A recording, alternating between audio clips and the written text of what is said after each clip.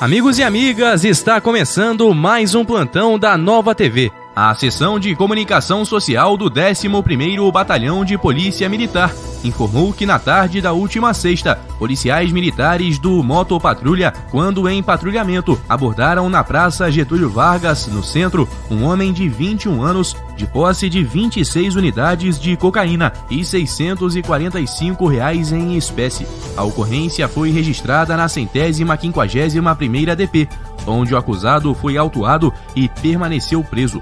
Todo o material ficou apreendido. Termina aqui mais um plantão da Nova TV. Entre em contato através do WhatsApp 999090701 e também do telefone da Nova TV 2522 9058.